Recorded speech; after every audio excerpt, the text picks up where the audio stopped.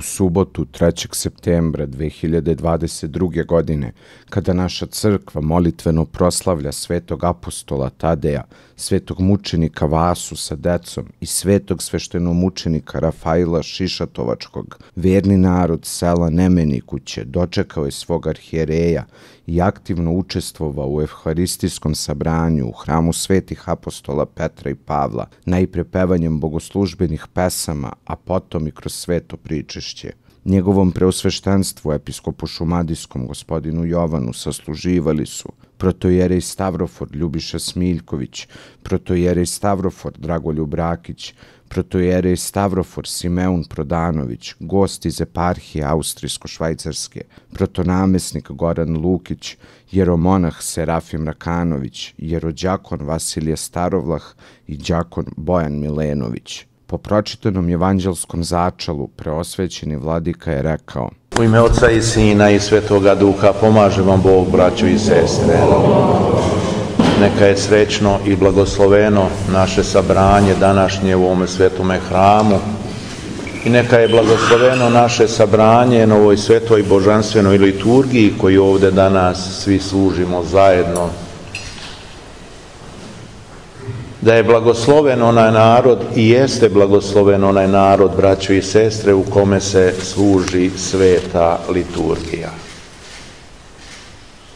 Ali još je blagosloveni onaj narod koji redovno dolazi na božanstvenu liturgiju. Jer mi se u liturgiji, braćo i sestre, ili bolje rečeno na liturgiji, kako hoćete, najprisnije sjedinjujemo sa Bogom postajemo jedno sa Bogom na prvom mjestu kroz svetu tajnu pričešća.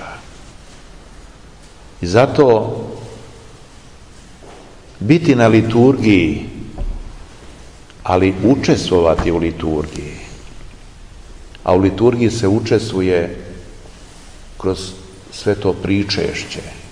I učestvovati liturgiji i prisustvovati liturgiji, to je razlika ogromna.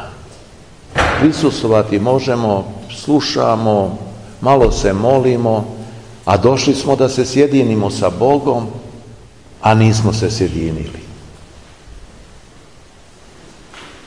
I zato liturgija, braćo i sestre, što često govorim, vama je svakako poznato, ona svodi nebo na zemlju i uzvodi zemlju na nebo ali ne samo zemlju, nego i one ljudi koji su na zemlji, koji hodaju zemljom, ali misle na nebo. To je hrišćansko. Hoditi zemljom, a misliti na nebo. Zato, braćo i sestre, sveta liturgija, prisustvo na svetoj liturgije jeste u stvari, braćo i sestre, prisustvo samoga Boga među nama ali istovremeno i naše prisustvo, kao što rekao, zajedno sa njim. Naša i naša zajednica sa njim. I ko je u toj zajednici sa Bogom? On je u zajednici sa svima svetima. Ko je u zajednici sa Bogom? On je u zajednici sa svakim drugim čovekom s kojim se susreće, s kojim hoda, s kojim se e, viđa. To znači zajednica, ali zajednica u Bogu i po Bogu i sa Bogom, braćo i sestre. Dakle, a šta je to drugo nego crkva Hristova?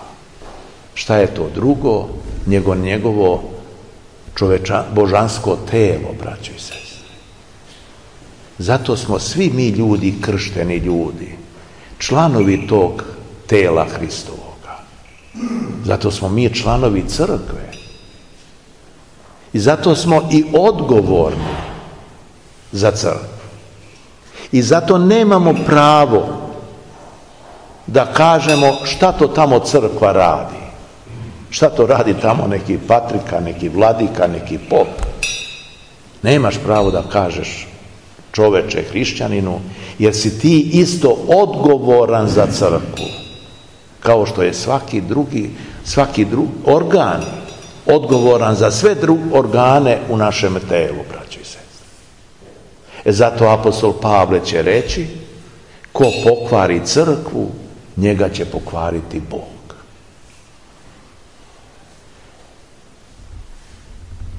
I zato kažem šta je crkva, a crkva je, braćo i sestre, prisustvo Hristovo među nama i mi u Hristu sa njim i jedno i u ljubavlju i međusobnom jedinstvu sa Hristom i sa jedni drugima.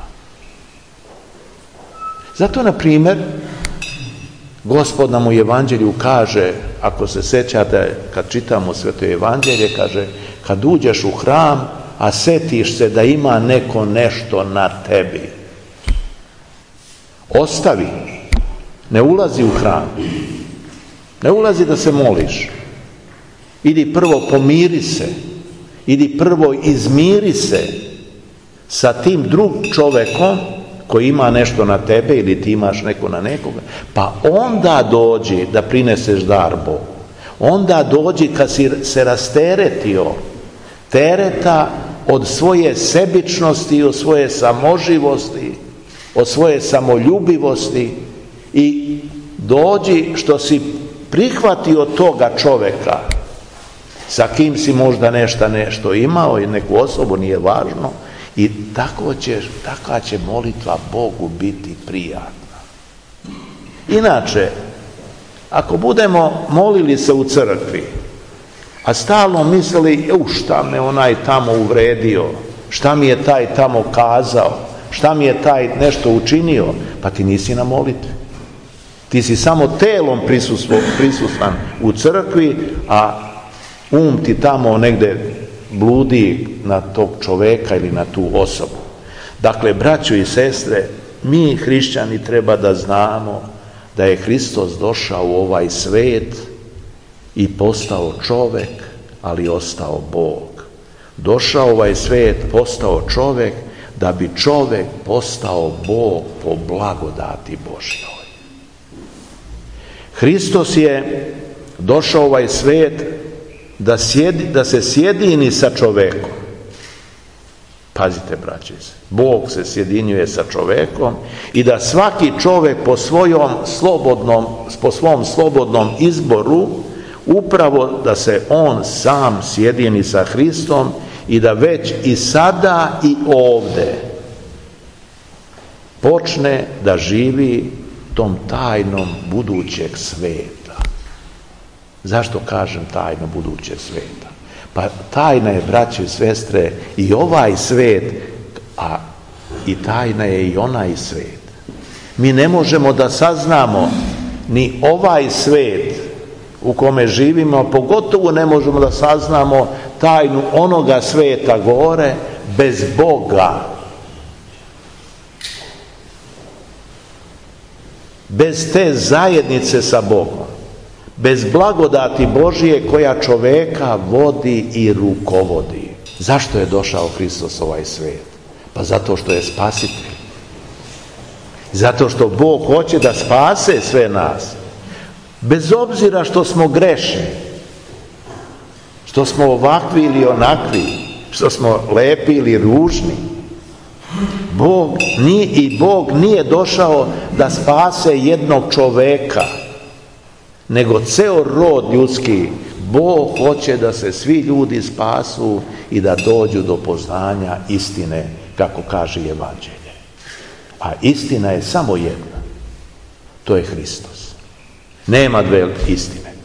A ljudi izmišljaju hiljade istina, pogotovo kad treba da odbrane sebe od nečega ili kad treba da se nadmudre da su bolji, da su pametniji, da su čisti, da su bezgrešni od drugih, e onda služi se svakakvim istinama, a to ne može biti opravdano. Ponavljam, istina je jedna, a Gospod je rekao, poznajte istinu i istina će vas osloboditi. Istina, a ne laž. Ili kako to lepo srpski narod kaže, u laži su kratke noge. Možemo da lažemo jedni druge, pa čak da Božo prosti lažemo Boga, ali to je kratko. Bog je sveznajući, on, sve, on je svevideći, ali Bog je milostiv. I zato od nas traži da i mi budemo milostivi, braćo i sestre. Dakle, braćo i sestre, on je došao, kažem, zato što je spasitelj, zato što je čoveku upravo potrebno spasenje. I nema drugog imena kojim bi se čovjek mogao spasiti do imena gospoda našega Isusa Hrista.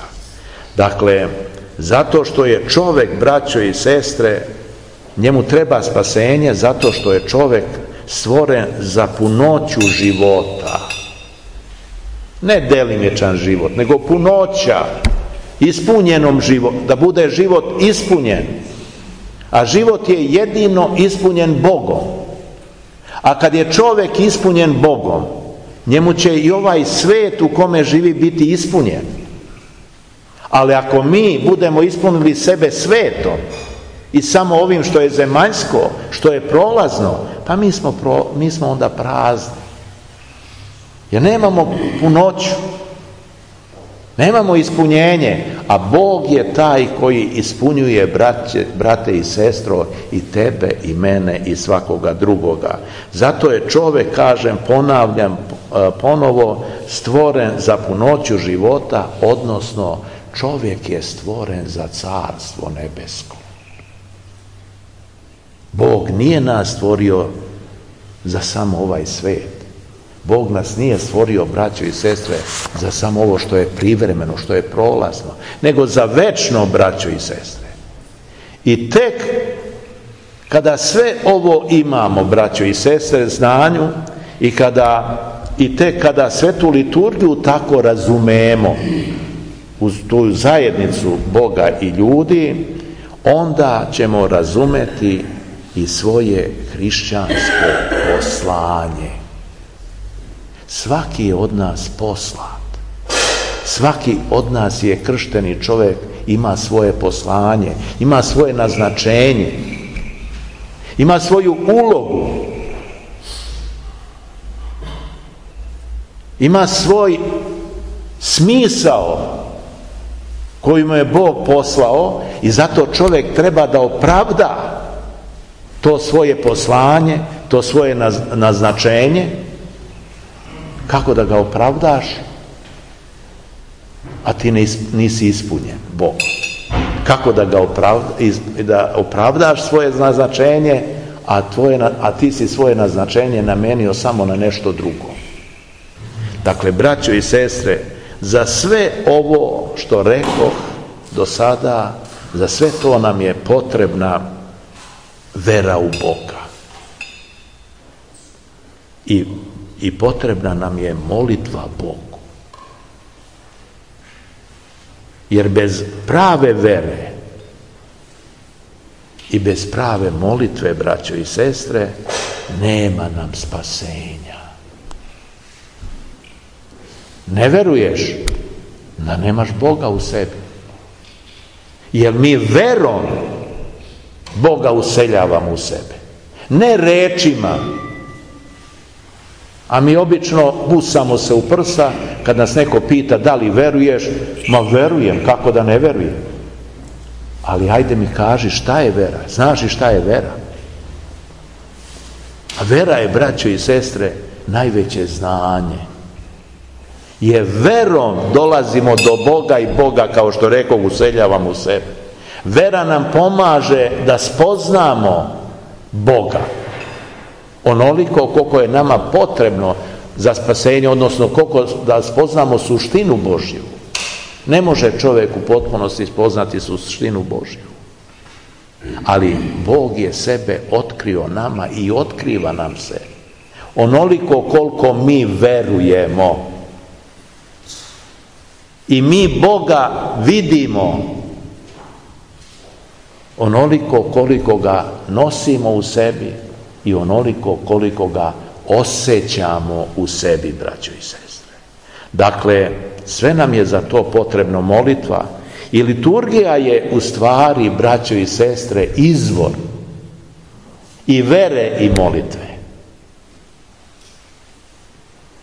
Možete li da pojmite sada koliki je značaj liturgije, braće i sestre? Ona je izvor i svake vere i svake, prave vere i prave molitve, oprosite, i nema spasenja bez toga.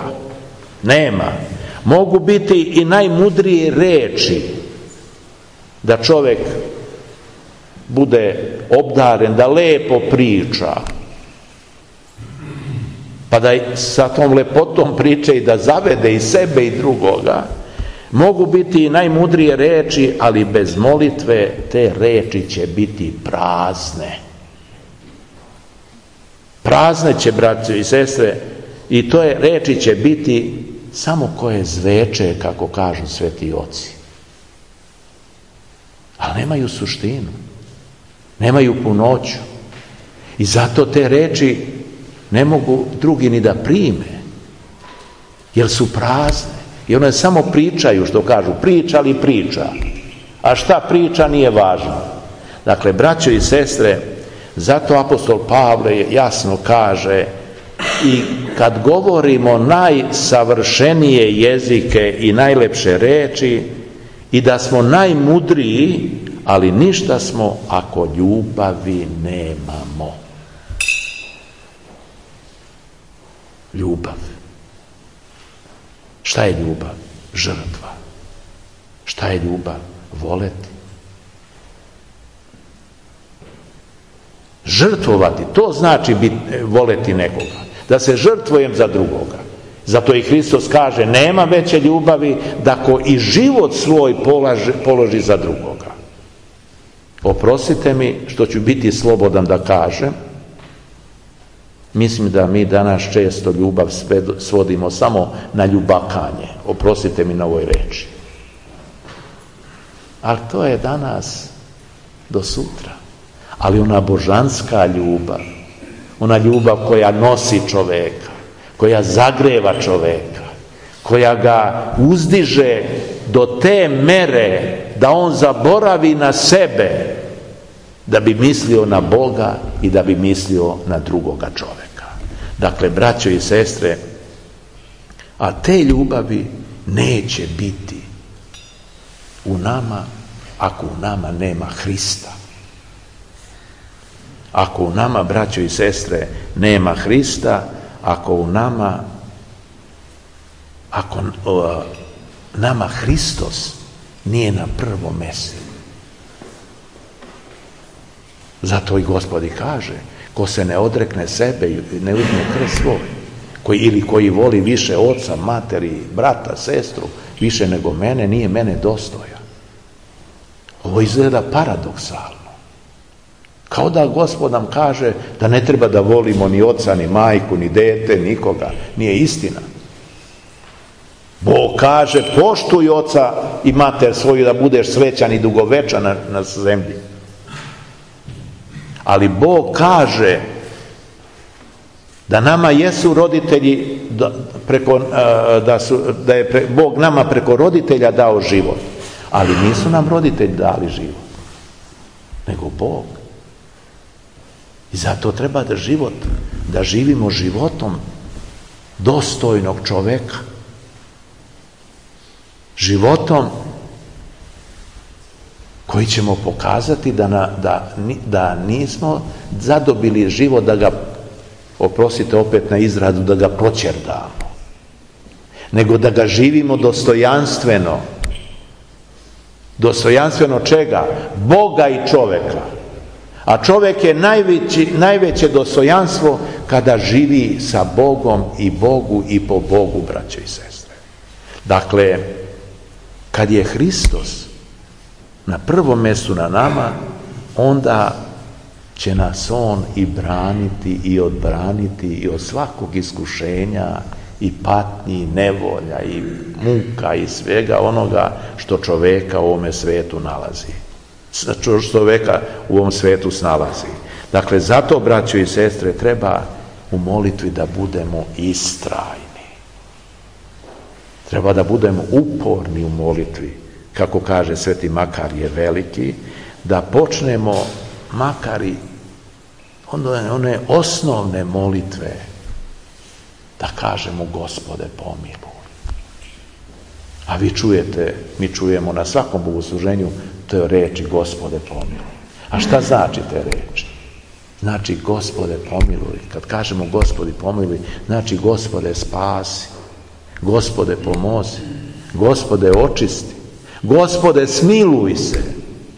Dakle, da pored toga da izgovorimo onu divnu molitvu koju nas je uči sveto evanđelje, na predivna molitva, kratka ali veoma sadržajna. Gospode Isuse Hriste, Sine Boži, pomiluj me. Ali to da kažemo ne jezikom, nego da nam bude tada povezan um i srce i tek tak da molitva će gospod i primiti braćo i sestre. Dakle, da se molimo onako, braćo i sestre, kako su se molila ova dva slepca iz ovog današnjeg evanđelja, koje smo čuli kada je gospod prolazio kroz, izazio iz Jerihona, jednog starog grada, jednog od najstarijih gradova na svetu, i kaže, sveli su ga dva slepca. I počeli da viču, da kažu, pomiluj nas, sine Davidov. Ljudi su zabranjivali da oni ne viču,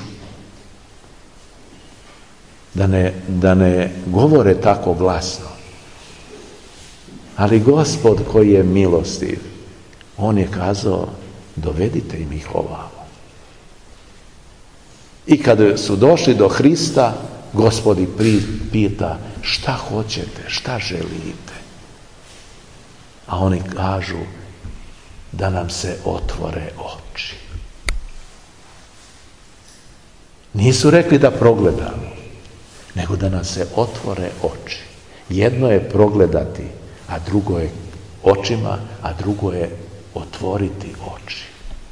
Kad se oči naše otvore, mi onda mnogo vidimo više nego kad, se, kad progledamo samo, braće i sestre.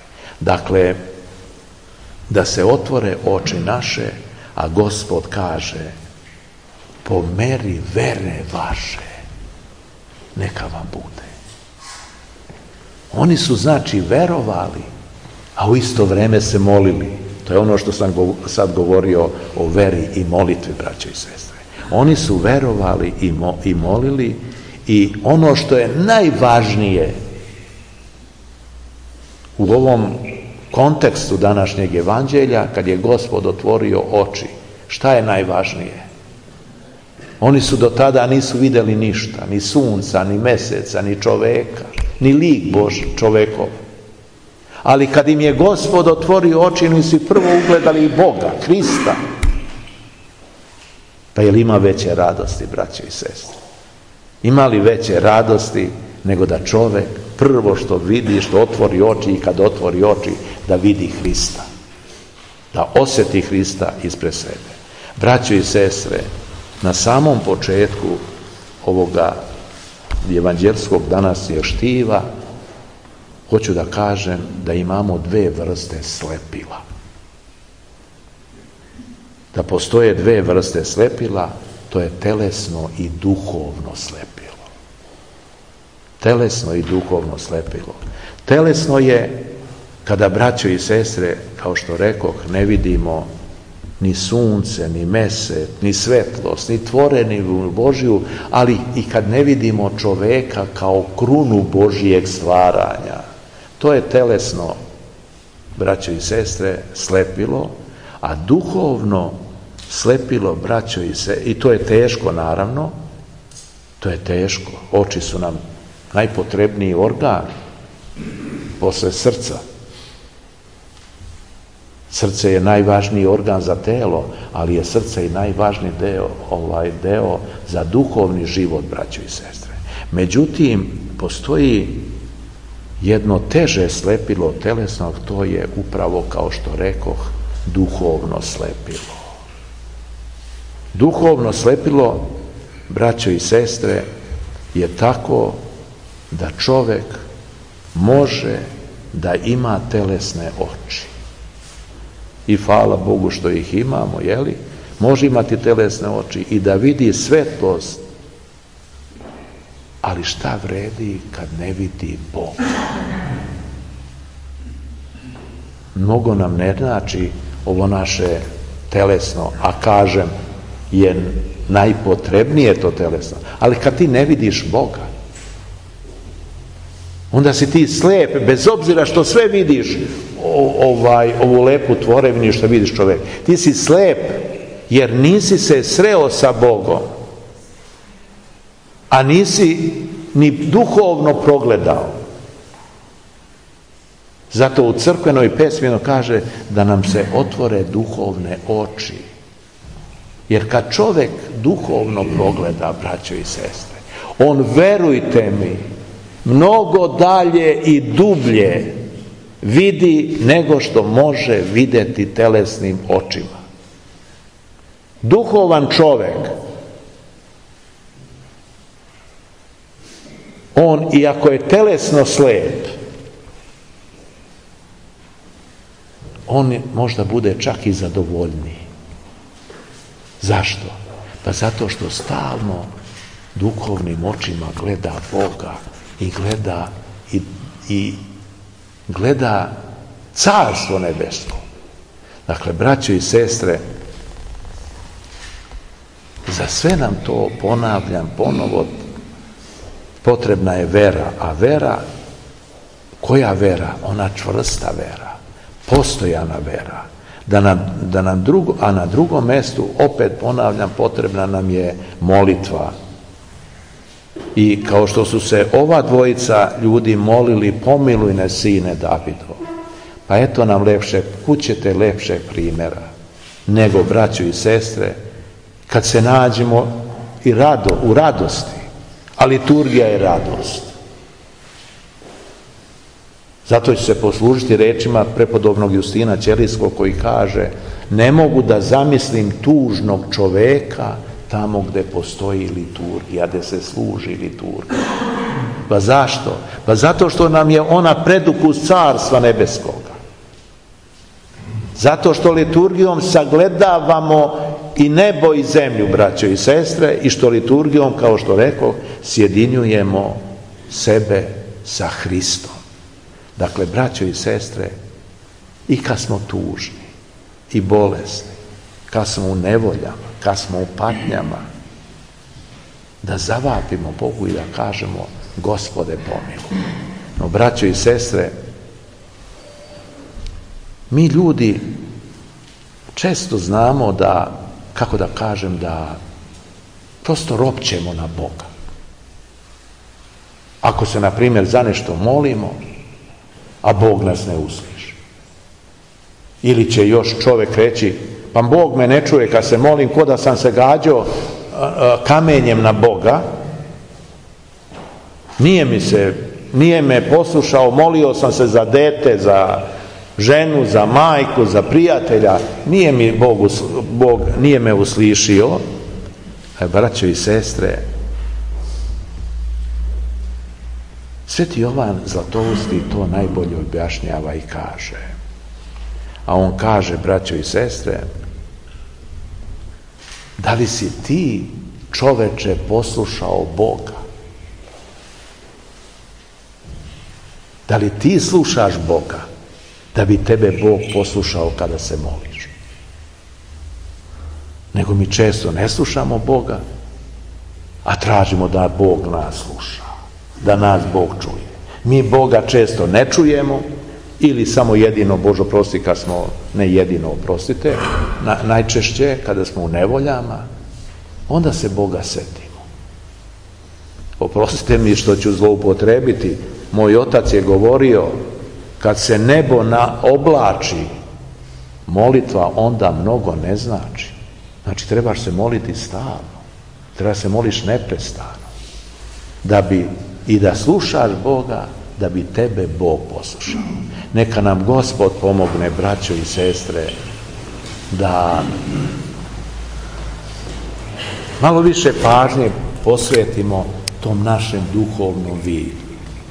A kad nam je duhovni vid izoštren, onda će i ovaj naš telesni, ako često puta bude i pomućen i zamućen bilo od čega, onda će nam i taj telesni vid biti jasni, bit će dublji. Zato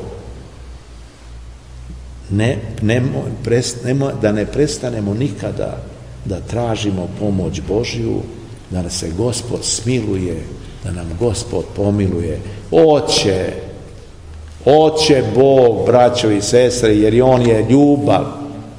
On voli svakoga čoveka podjednako. I grešnog i pravednog. Grešnog da bi osjetio Božju ljubav, a pravednika voli da bi se pravednik učvrstio u ljubavi Božjoj. Neka ste srećni i Bogom blagosloveni. Nakon svete liturgije upriličena je trpeza ljubavi, koju je za sve prisutne pripremio protojerej Novak Ilić sa svojom porodicom.